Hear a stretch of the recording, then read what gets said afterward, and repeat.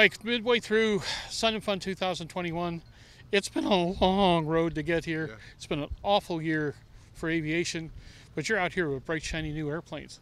Can't all be bad. No, it's not bad. It's uh, um, just to get out amongst everybody and get about. In fact, it's uh, the pent up demand is apparent here because we've had at least five or six very qualified people coming through looking at our aircraft, and it, so it's been an exciting Sun and Fun so far. Our two aircraft here are fully certified.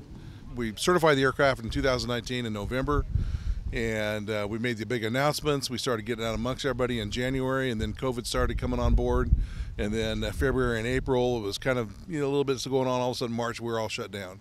We continued on with information out there to everybody, kept our customers informed of what's going on.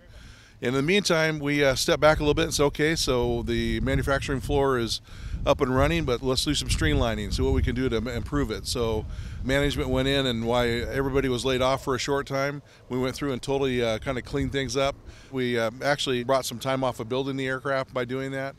Started bringing people back on board in summer. We're back up to almost 280 people now, back building airplanes. We're realistically we're up to one a month uh, in uh, delivery process. During that time, we also changed to the GX model, which is adding the uh, GFC 700 autopilot and a five-blade Hartzell composite propeller. So right now, our pilots back home are doing a fly off on that, get the final approvals, and uh, we'll start uh, delivering the first GXs in uh, June, and we'll have about three or four of them ready to go right at that time. Wonderful. So, how many are out in the wild now? We have delivered eight E1000s, and then uh, we've got reservations for 30 more aircraft. Several of those reservations have pushed out to 2022 because of COVID and various things. We're delivering uh, now to those early folks and uh, getting airplanes to them. What do you foresee for the next few years for all things Epic? Right now, we're seriously looking at getting it ramped up to 50 aircraft a year, four a month. And as every new model comes out, and we'll be looking at different things to do with this aircraft. You, know, you look at other manufacturers over the years.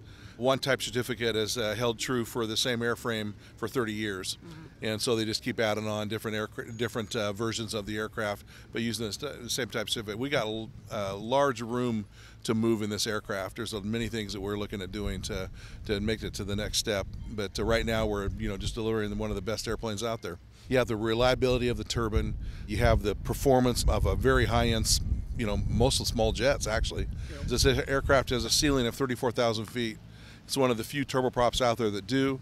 With a 1,200 horsepower engine on the front of that, our time to climb gets us up there quickly. We're up in the flight levels really fast. With our VSM approval, our guys are flying up there all day long at uh, 315 knots, burning 48 gallons an hour. So just a phenomenal airplane. So you have that type of performance, but you have it with the efficiencies of a turboprop. And this is what people aspire to. So it's going to be one of those airplanes going to be popular, popular now and forever, I think. And I have to ask this current pricing, how much? That's 3.85 million. So we're still substantially less than our, our closest competition. And if you go on the same type of performance level, we're still substantially less. Are you looking at all at some of the Autoland capabilities that have become so popular of late? That'll come along. I mean, this current autopilot functions we're offering now is the auto level and the automatic descent and depressurization and those things. And then Autoland is just a natural next step. Final question When do I fly? Uh, as soon as we get one to you. Sounds like a plan. Thanks, Guy. Thanks. Thanks. Appreciate it.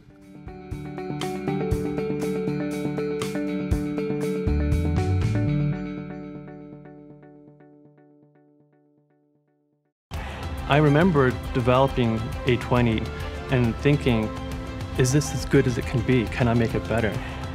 That drives a desire to truly make innovations and capabilities that people haven't even thought of and really look for something that's new, different, and better.